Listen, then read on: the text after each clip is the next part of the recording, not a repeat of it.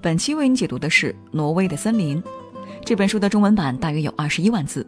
我会用大约二十二分钟的时间为你讲述书中精髓，如何与现实相处，成为生活的强者。日语专业的论文选题中常常会有日本人的生死观这个议题，究其原因，是因为大和民族对于死亡的崇拜与迷恋，在世界上都可以称得上是独一无二的。在日本的各类文艺作品中，对于死亡的探讨不计其数。日本人的自杀率在全世界也是闻名已久。这种特殊审美的形成有很多复杂的原因，比如日本自然灾害频繁，在他们的思想中留下了关于生死无常的感慨与叹息；再比如日本人的耻文化，让他们不敢面对失败，宁愿选择死亡等。今天的这本书《挪威的森林》中也有关于生死的讨论。男主人公渡边从好友木月的死亡中参透到一个道理。那就是生死并不是对立的，死亡也是生的一种表现形式。这句话脱离情境可能难以理解，但确实代表了日本人对于死亡的一种感觉，就像是见多了所以习惯了一样，不觉得死亡是一件多么大的事情。人活在世界上，总是会出现各种各样的问题，遇到各式各样的困境。当一个人压抑到一定地步的时候，生死观就会对这个人产生很大的影响。挪威的森林将带领我们走入一九六九年的日本，通过故事里几位年轻男女的纠葛来探讨人究竟该如何与现实世界相处，如何与自我和解。《挪威的森林》这本书名气很大，截至二零一二年，它在日本就畅销一千五百多万册，在中国销售量也近了千万。这部书名其实是故事中的人物直子在生前非常喜欢的一首歌——甲壳虫乐队的《Norwegian World》。这本书并不仅仅是一部青春爱情小说，其中掺杂着在日本国内经济政治环境动荡的局面下，年轻人们对于自我、他人、社会所产生的无力感与迷茫感。在理想主义与现实激烈碰撞的时候，在面对成长的痛苦的时候，有的人选择了抗争，有的人选择了逃避，有的人成为了生活的强者，有的人最终选择了死亡。《挪威的森林》的作者村上春树毕业于日本早稻田大学文学部戏剧科，二十九岁开始写作生涯。他的首部作品《且听风吟》就获得了日本群像新人奖，可见其才华之高。村上春树的写作风格受西方作家的影响比较大，跟一般日本作家沉重的风格不同。他的作品总体的语言基调是轻松的、乐观的，因此在世界范围内都有着广泛的知名度。村上春树是多年的诺贝尔文学奖陪跑者，年年都是大热门，却从未获选。而且，村上春树还有另外一个身份：多年的马拉松参与者。他靠着长跑戒烟成功，还写了一本书，叫做《当我谈跑步时，我谈些什么》。人的本质是孤独的，无论两个人如何亲密，也始终无法真正意义上进入对方的内心世界。但是，就因为这样，我们就放弃与人的交流，放弃与世界的沟通，沉溺在自己的精神世界中吗？在面临困境的时候，这其实是一种无奈的逃避之举。在挪威的森林中，无论是男主人公渡边对于直子的意义，还是绿子对于渡边的存在，其实扮演的都是同一种角色：将沉溺在自己精神世界中的人们拉出来，将徘徊在生死边缘的人拉回来。与活生生的世界建立连接。好了，介绍完这本书的基本情况和作者概况，那么下面我就来为你详细讲讲书中内容。这本书主要讲述了三个重点内容。第一个重点内容是《挪威的森林》这本书究竟讲了什么样的故事？第二个重点内容是《挪威的森林》体现了日本人怎样的生死观？第三个重点内容是如何成为生活的强者？好，我们来先说说第一个重点内容：挪威的森林究竟讲了一个什么样的故事？渡边彻唯一的好朋友木月被发现在家中自杀身亡。一九六八年，渡边彻考上大学，离开家乡神户，并和木月青梅竹马的女朋友直子在东京相遇了。木月永远的留在了十七岁，而渡边和直子背负着复杂的情感，开始了漫长的成长之路。渡边彻进入宿舍，开始集体生活，而直子一改曾经前呼后拥的女神状态，离群所居，郁郁寡欢。自从一次在车站遇见后，两个人就自然而然地开始约会，每周在东京的大街小巷大走特走，仿佛是用不停的走路来缓解内心的焦虑与痛苦。在此期间，渡边和直子产生了感情，并且在直子二十岁的生日那天确定了关系。然而，直子的内心却无法承担与渡边在一起的这件事情，所以悄无声息地离开了东京。很久之后，在渡边彻快要发疯的时候，直子终于有了音信。他回复了渡边一封信，告知他自己是一个心灵不健全的人，病情严重到已经无法与外界交流，只能在远离人烟的京都的疗养院中静养。渡边彻在接到信的第二天就去了京都寻找直子。在疗养院中，渡边更加深入地了解了直子心中的矛盾与痛苦，他也因此下定决心要保护直子。两个人的关系得到了发展。渡边回到东京之后，不再沾花惹草，与陌生的女孩乱来，而是一边打工继续自己的学业，一边等待着直子，希望自己可以挽救直子，成为直子的依赖和支撑。在直子不在东京的期间内，渡边认识了一个和直子完全不一样的女孩绿子。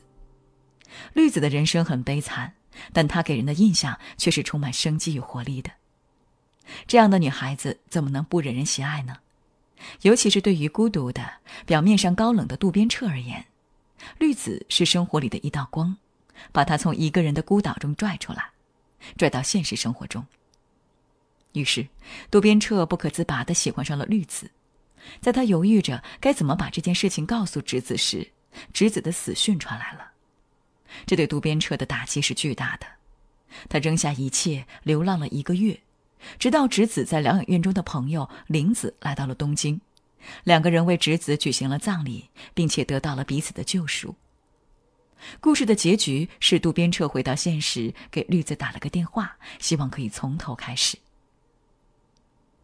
故事永远都是简单的，复杂的是故事的背景和人物的心理。说完了故事，我们回头看看故事发生的大背景。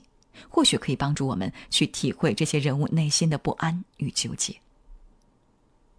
什么词可以精准的形容一九六八年的日本呢？混乱。一九六八年，日本经济高速发展，成为仅次于美国、苏联的第三经济大国。但伴随着经济发展的同时，是如火如荼的大学生运动。由于得知美国军方在对越南的侵略战争中使用了化学武器。东京大学的学生们喊出了“反越战、反安保”的口号，成为日本文化大革命的中心。年轻人们开始反思本国犯下的罪行，罢课运动不断上演。而故事的主角们在动荡的社会形势中游离，他们沉浸在自己的世界中，对社会环境有着既不屑又不知如何融入的无力感。他们是孤独的，不知道该如何成长，这也就造就了他们心里的脆弱与敏感。好了，那上面为你讲述的就是第一个重点内容：挪威的森林究竟讲述了一个什么样的故事？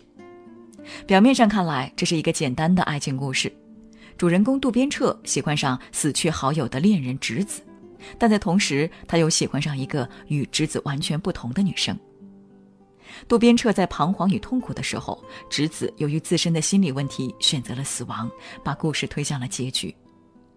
无论是选择逃避的懦弱，还是选择成长的坚强，故事中的人物对于人生的无奈、挣扎、失望、痛苦这一系列复杂的情感，被村上春树用细腻平淡的笔触刻画出来，让人感同身受。下面我们来说说本书的第二个重点内容：为什么说挪威的森林体现了日本人独特的生死观呢？在中国人眼中，生命只有一次。所谓好死不如赖活着，中国人非常忌讳死亡，连带忌讳四这个数字，而日本人则截然相反，日本崇尚宁静的美，而死亡就是这么一种美。这种审美观念让残忍的剖腹自尽在日本成为风骨的象征。那接下来我们就来聊一聊日本人的生死观在挪威的森林里如何体现的。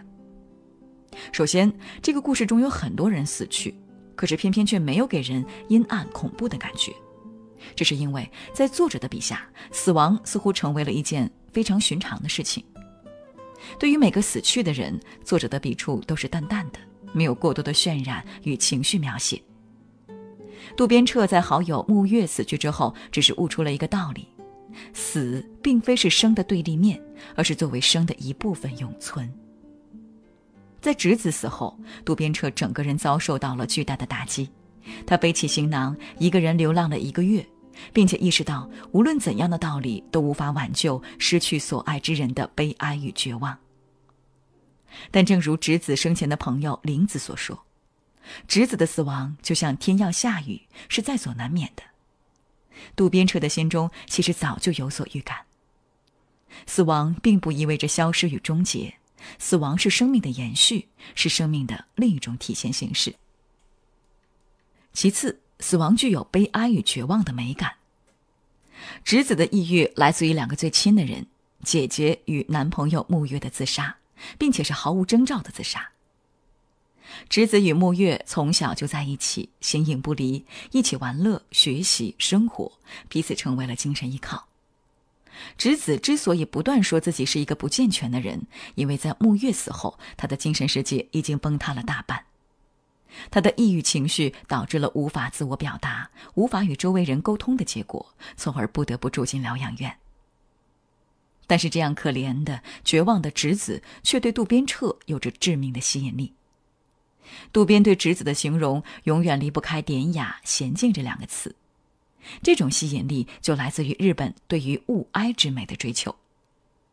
物哀，顾名思义，就是文人由自然景物引发的一些悲伤的、忧愁的情绪。物哀之美是一种追求瞬间美的自然观，最高级的美感就是淡淡的、静寂的哀愁。因此，在日本人的生死观中，有着对死亡的一种独特审美。死亡并不是可怕的，而是带有淡淡的悲哀意味的美。最后，死亡在本质上是一种懦弱和逃避。直子与木月从小青梅竹马，活在两个人的世界中，看似天作之合，郎才女貌。却因为从小太过顺风顺水，只与彼此分享喜怒哀乐，与外界没有任何精神交流，从而失去了独立成长的机会。所以，优秀的木月却无法融入到学校的生活之中，独来独往，只有渡边彻这么一个朋友。所有人都认为木月是太过优秀，所以高冷。只有直子知道，他曾经努力改变过自己，却屡屡失败。他憎恶着无能为力的自己，选择了死亡，永远的留在了十七岁。但是直子是不愿意死去的，他不顾一切的抓住了曾经沐月的挚友渡边，希望渡边可以带领自己走出死亡。两个人在森林里散步时，直子曾说：“这里有深不可测的枯井，一旦掉下去，就会在黑暗中慢慢死去，非常可怕。”但是渡边彻永远不会遇到这口井，所以他只要和渡边在一起就会很安全。直子口中所说的深井，其实就是他内心深处关于死亡的黑洞。他徘徊在死亡的悬崖边上，希望渡边可以带他走出死亡。但是直子不懂的是，一个人之所以可以生存下来，是建立在自身心智的健全上的。无论是曾经对木月的依靠，还是后来对渡边的希望，本质上都是他无法独立生存的表现。直子是聪明的、敏感的，他最终意识到了把希望寄托在别人身上的可笑与无望，却无法让自己强大起来、站起来，选择了向内心的软弱投降。直子和渡边曾经感叹，他们在一天天的成长，而木月永远的留在了十七岁。木月躲在了死亡的身后，不需要面对人生的一系列问题。当渡边彻决定保护直子之后，他在心中默默的跟木月说。我已经不再是十几岁的少年，我已经二十岁了。我可以变得成熟、坚强，变成大人。死去的人永远的留在了死去的年纪，而活着的人则必须面对成长的艰辛。好了，说到这里，我们总结一下：在挪威的森林中，我们可以透过村上春树的描写，看到日本人的生死观。为什么日本人的生死观会崇尚死亡呢？因为首先，日本人是深深认同生死无常这个观点的，死亡并不是生命的消失，而是生命的延续。其次，死亡具有美感，那是一种静寂的、悲哀的美感。最后对死亡之美的崇尚，其实一定程度上反映了一种逃避和懦弱的人生态度。活着其实是最艰辛的，而死亡则易如反掌。以上就是为你讲述的第二个重点内容：挪威的森林反映了日本人怎样的生死观。那下面我们来说一说本书的第三个重点内容，也是本书作者村上春树最想要表达的中心思想：热爱生命，成为生活的强者。书中内心强大的人很少很少，在软弱的孤独的少年之中，有两个人的形象特别突出，那就是绿子和永泽。有读者这样评价小林绿子：走霉运却不曾露霉相。他是书中心智最健全的一个人，让别人感受到的正如他名字一般蓬勃的生命力。渡边彻形容绿子的爱是站立着的，在行走，在呼吸，在跳动。在摇撼我的身心。绿子的形象，正如森林里的小鹿，春天里的绿芽，是可爱的、活蹦乱跳的，带着生命的希望与快乐。小林绿子所受的苦难也不少，母亲去世，父亲在医院垂危。他说，从小都没有感受到被父母疼爱的感觉，所以自己下定了决心，一定要得到非常多、非常多、多到溢出来的爱。绿子本质上有着不屈服的倔强的性格，她讨厌自己念的高中，但因为不愿意被讨厌的事物打败，所以就硬撑着去上课，刮风下雨一节课都不落下，毕业的时候还拿了奖项。绿子的父母厨艺不精，对于吃的东西从来不讲究，也不愿意花钱让他买锅研究做饭，他就可以省下自己买内衣的钱去买锅，对着食谱研究美食。在让人抑郁到吃不下饭的医院食堂，她也可以大口大口的扒饭，因为她必须吃饱了才有力气照顾病重的父亲。这样的女孩子怎么可能不让人喜欢呢？绿子对生活做过这样的比喻：生活就像一个饼干罐，里面有好吃的，有不好吃的，所以不能一直吃好吃的饼干，好吃的都吃完了，剩下的都是不好吃的了。懂得先苦后甜。在遇到问题时，安慰自己只是吃到了不好吃的饼干，这样乐观积极的想法，本书中的其他人物永远都不可能会产生。为什么绿子会这么特别？因为故事中的所有人对生活都是充满着无奈和绝望的，无论他们选择了游戏人生还是结束生命，本质上都是对实现自我这件事情不再抱有希望。他们是绝对不会觉得自己面对的事情只是恰好挑到了不好吃的饼干而已。因此，绿子对于主人公渡边彻产生吸引力是非常自然的事情。当渡边彻躲在自己的精神世界中，在音乐和读书中寻找寄托，用酒精来让自己舒服点的时候，绿子闯进他的世界，咚咚咚的敲窗，把阳光带进他的生活。说完了绿子，下面我们就来说一说另一个生活的强者永泽。永泽在任何一个时代都会是人生赢家的形象。他出身名门，长相英俊，还是东京大学的高材生，有着一位气质高贵的女朋友出美。永泽的孤独与渡边彻不同，渡边彻是认为别人无法理解自己，而永泽却是不屑于与他人交往。永泽自视甚高，他也确实有这个资本。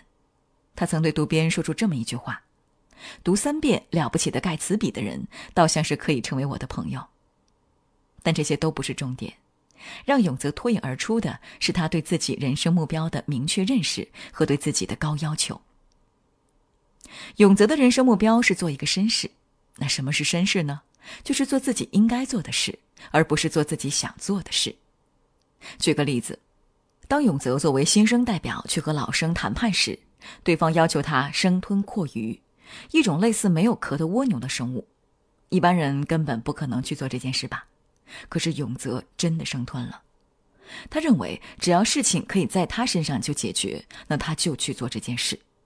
因此，永泽的所作所为无愧于他所希望做到的绅士这个身份。相比于其他人对于人生未来的无力感，人生对于永泽来说更像是一个游乐场。他可以随心所欲去做自己想做的事情，因为他有能力去做到。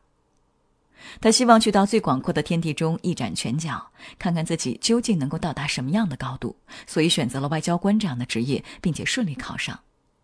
永泽的目标很明确，因为他也从来不懈怠对于自身的高标准和高要求。即使是得到工作之后，他也会一边喝着啤酒，一边看着课程学习外语。天分加上努力，成就了永泽，也让他成为了生活中的强者。好，说到这里，我们总结一下：挪威的森林中有两位人物特别引人注目，那就是绿子和永泽。绿子有着乐观积极的心态和不服输的性格，而永泽则是有着强大的自信和自控力。在遇到挫折和困境的时候，他们没有像故事中的其他人物一样自怨自艾，选择逃避，非要迎面直上，证明自己，打败敌人。这样的个性让他们不会太过纠结于眼前的迷茫，而是努力突破自己，成为生活的英雄。在遇到困境的时候，想着只是吃到了不好吃的饼干，并且努力克服困难，这样的人才可以做到与自我和解，与世界和平共处。好了，说到这儿，今天的内容就聊差不多了。那下面我来简单总结一下今天为你分享的内容。首先，我们说到了《挪威的森林》这本书的故事框架：直子、渡边、木月三人在高中时期形影不离。其中，直子与木月从小青梅竹马，在木月自杀去世之后，直子与渡边来到了东京读大学，并在相处中产生了感情。随后，直子因木月死去产生的抑郁情绪加重，社交能力退化，无法与外界沟通，进入了远离人烟的疗养院生活。独自一人生活在东京的渡边遇到了一位可爱的名叫绿子的姑娘，并情不自禁被绿子吸引。在故事的最后，直子病情加重，选择了死亡，而渡边也在痛苦中与自我和解，开始了新的生活。其次，我们说到了挪威的森林中体现出来的日本人的生死观，与中国人对死亡的忌讳不同，在日本人的眼中，死亡只是一件寻常不过的事情，并没有那么的恐怖。其次，死亡具有一种悲哀的静谧的美感，是日本人的审美中所能够欣赏的一点。但是，死亡其实代表了一种懦弱与逃避，日本人的耻文化让他们有着不敢面对失败的心理。比起死亡，失败所带来的羞耻感更加可怕。最后，我们说到了在成长的过程中，我们该如何与现实和解，成为生活的强者。在书中有两个特别吸引人的人物，绿子与永泽。绿子在整个故事中显得非常突出，他是里面最勇敢的人，在面对困境的时候，还可以保持乐观积极的心态，并且绝不肯屈服。而永泽则是一个真真正正的人生赢家，他家世好，却为了自己的理想不懈努力，不服输，不肯被一切事物打败，懂得约束自己，克制自己，执着的做一个他心中的绅士。虽然表面上日本人欣赏死亡的美，但读本书你却可以感受到，死亡其实是这些年轻人们对自己的人生充满了绝望后的无奈选择。神救自救者。这个世界上除了你自己，没有人可以拯救你。这也是为什么渡边无法拯救侄子的原因。罗曼·罗兰曾经说过：“生活中只存在一种英雄主义，就是认清了生活的本质后，依然热爱生活。”故事中的永泽对渡边说过这么一句话：“永远不要同情自己，同情自己是卑劣懦夫的勾当。”在迷茫和痛苦的时候，多想想这么一句话，也许可以成为读本书最大的收获。以上就是今天全部内容总结，恭喜你又听完了一本书。